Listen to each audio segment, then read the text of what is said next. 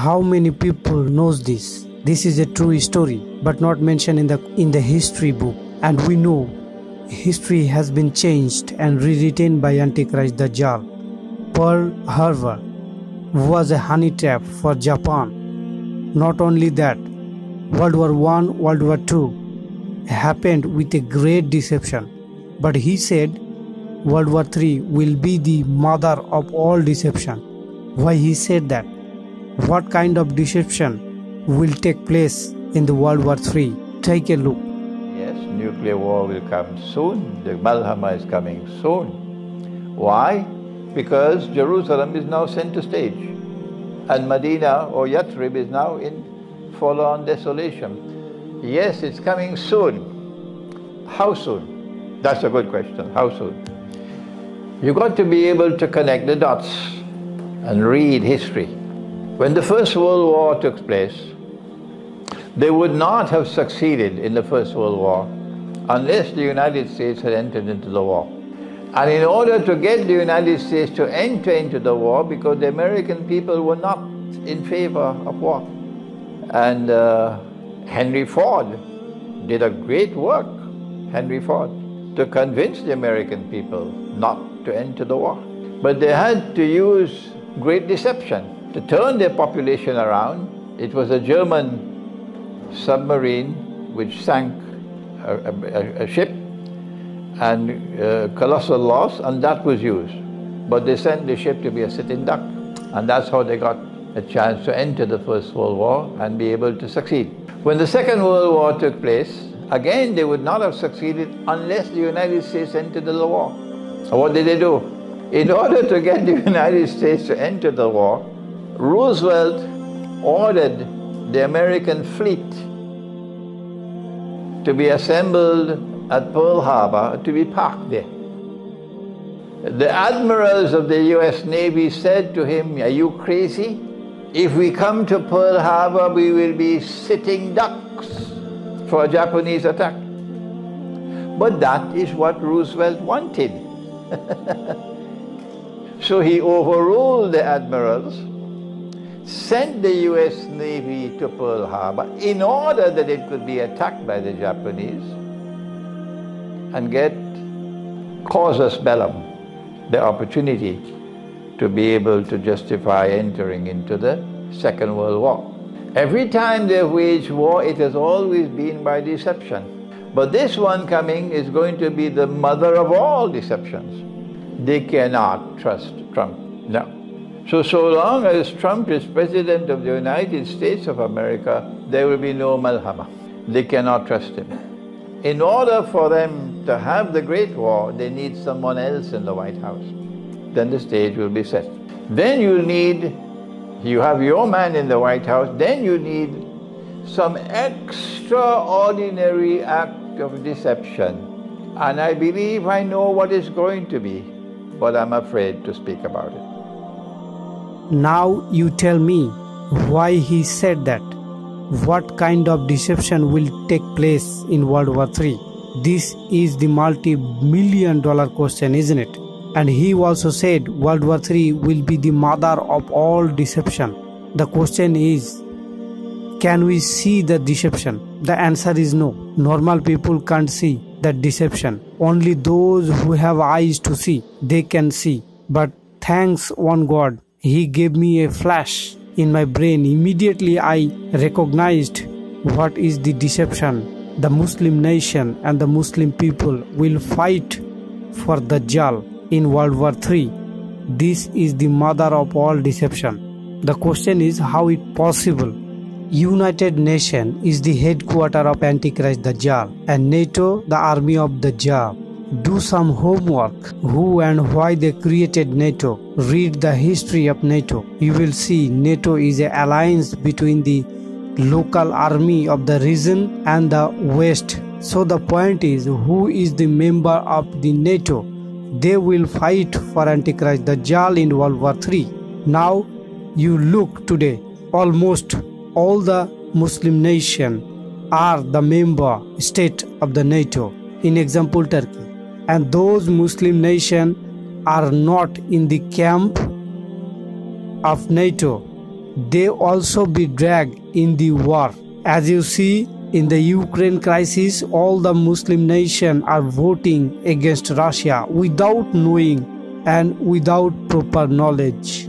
Also, look the news how the Muslim nation and the Muslim people are voting against Ukraine and supporting Turkey and the others and others and others. I will give you only one clear deception. Rest of the thing you need to understand by yourself and do some homework and let see how Dajjal bring all the Muslim nation and the Muslim people into the war.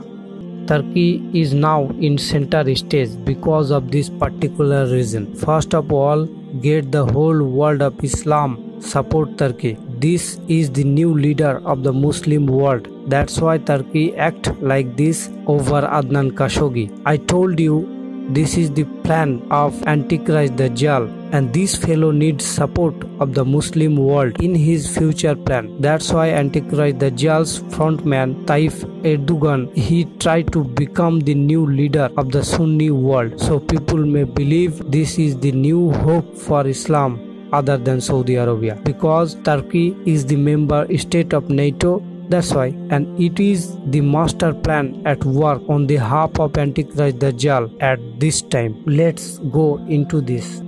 Number 1 Impact of Ertugrul Ghazi in the Islamic world. Ertugrul Ghazi is a TV series, and this TV series playing a crucial role in the end times. Why Ertugrul Ghazi came now? Why not before? There is a specific reason why it came now. Turkey is the member state of NATO. That's why it is the master plan at work on the half of Antichrist Dajjal.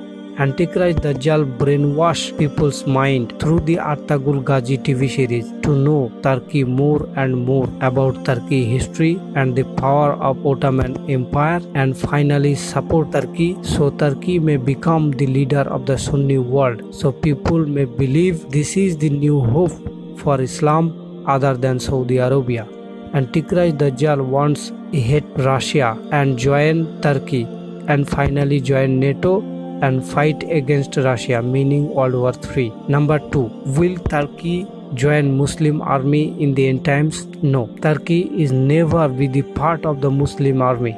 That's why Turkey will never join the Muslim army in the end times. There is a hadith prophecy by Nabi Muhammad sallam. He said, after the great war, the Muslim army conquer the Constantinople. That means Turkey will fight against Muslim army because without the fight Turkey will not give the Hagia Sophia into the hands of Muslim army and which army will return to the Orthodox Christian and they become friends and allies of Muslim which is prophesied by Nabi Muhammad in the Quran there is a surah called Surah Rum. It explained there. They preparing for the war. It will be beneficiary or helpful if they could use Muslim people or Muslim country which is the member state of NATO. As a Trojan horse. First of all, get the whole world of Islam support Turkey. This is the new leader of the Muslim world. That's why the Turkey act like this over Adnan Khashoggi. Erdogan, he tried to become the new leader of the Sunni world.